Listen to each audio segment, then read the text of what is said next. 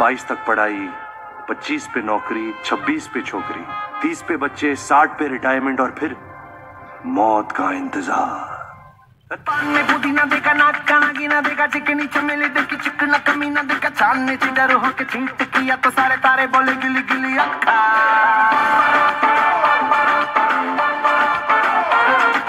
अरे लाइफ में थोड़ा बहुत कीमा पाओ टंगड़ी कबाब खाका नूडल भी होना चाहिए ना।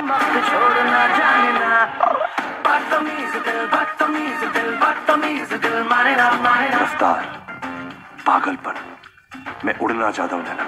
दौड़ना चाहता हूँ गिरना भी चाहता हूँ बस रुकना नहीं चाहता।